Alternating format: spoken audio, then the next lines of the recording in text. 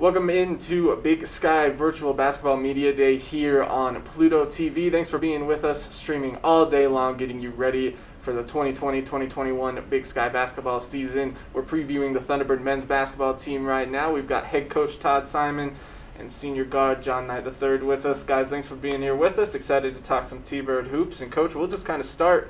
We'll look back at last year. Obviously, another successful season for the program before everything uh, quickly closed down in March. So just when you reflect back on last season, kind of, you know, what were some of the biggest takeaways for you?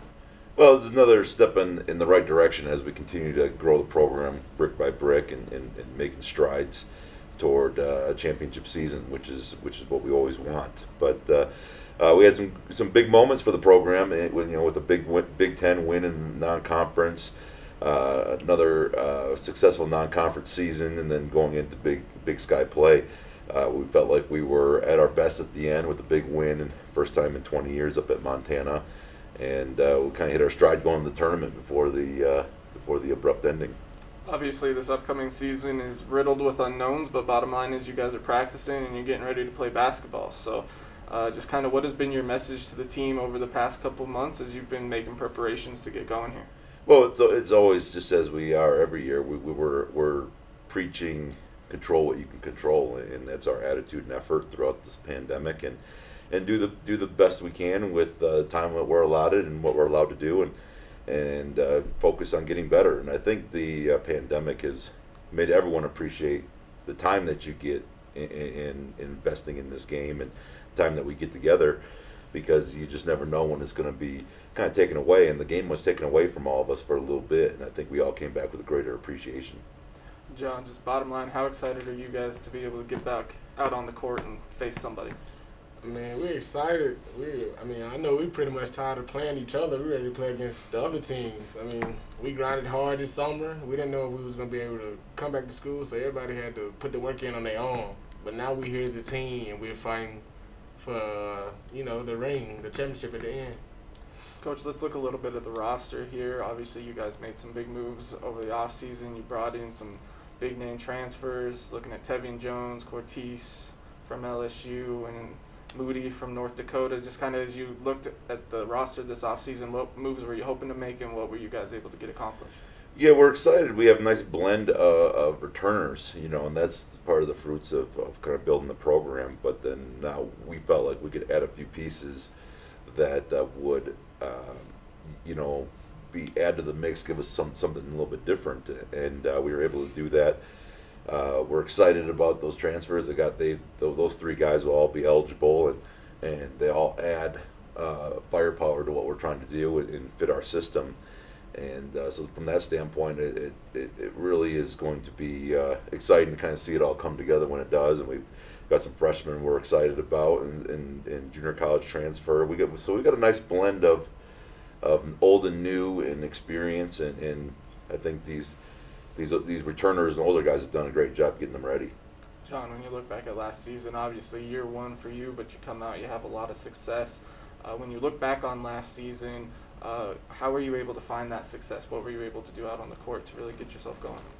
Um, I pride proud of being a big guard. So I was bigger than most guards we played against. So the my plan, my game plan was to attack the basket no matter who in front of me. Just finish my layups because they always sagging off. So I just play in the post and just play smarter.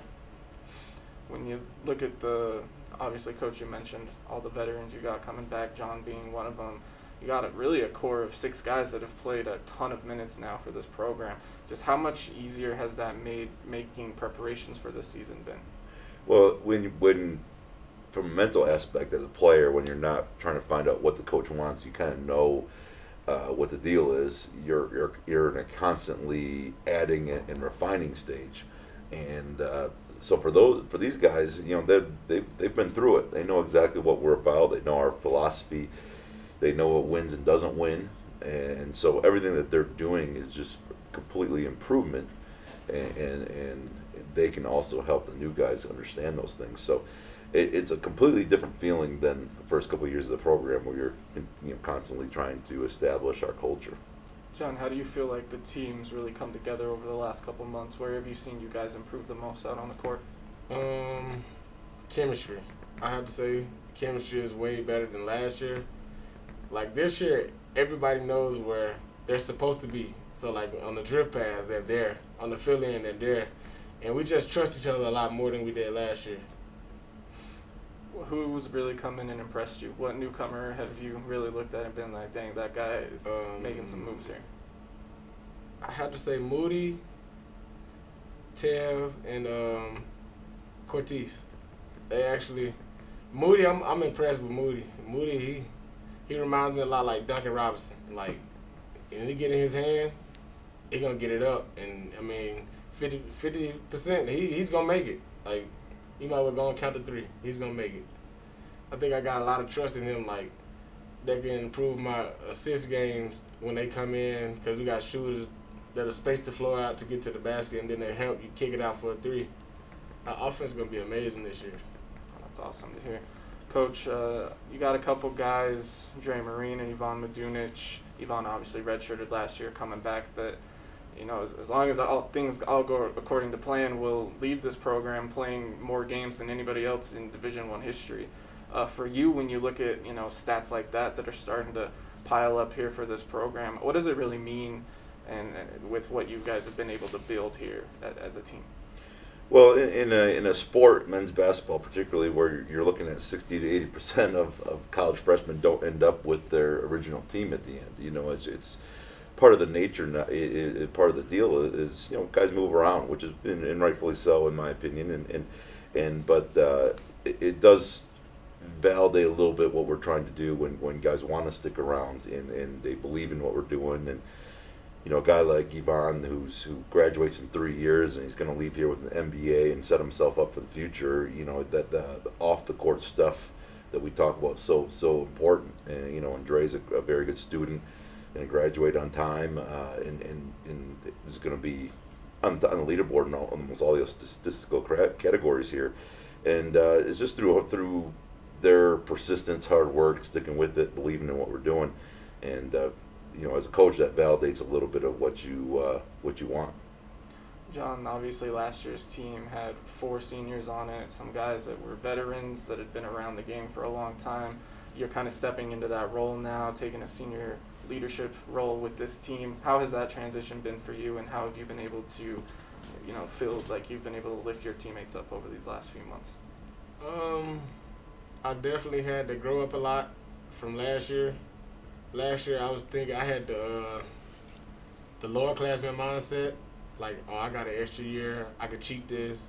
I got an extra year, I can get away by doing this one. But this year, I think I got a. I'm starting to lead by example now.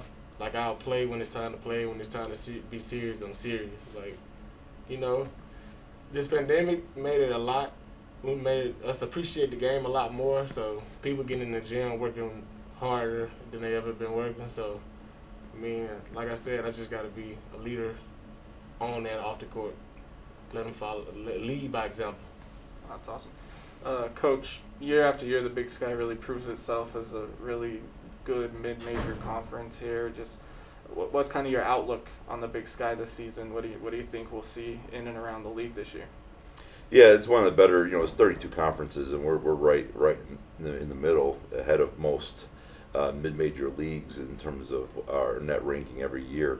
Um, so you know, I, I fully expect it's going to be, you know, in in that area again this year because it's so well coached. There's so many quality players, and uh, you know, but, but at the end of the day, you, you know, the guys that uh, it runs through it runs through, and, and into uh, Eastern Washington's credit, they won the league last year, and, and, and they deserve that spot until someone takes it from them. And you know they'll be up there. You, obviously, Montana's um, going to have a, a, talented squad, and you can kind of go right down the league. Part of what makes this league so good is that one through eleven, it's very deep.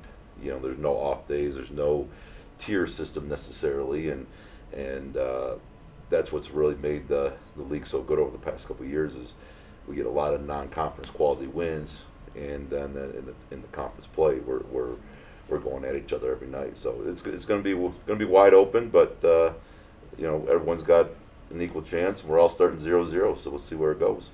Well, I could talk about this squad all day, but we got to wrap up here. Thank you both so much for stopping in, and we're excited to see you out on the court here soon. Make sure to stay tuned as Big Sky Virtual Basketball Media Day continues here on Pluto TV.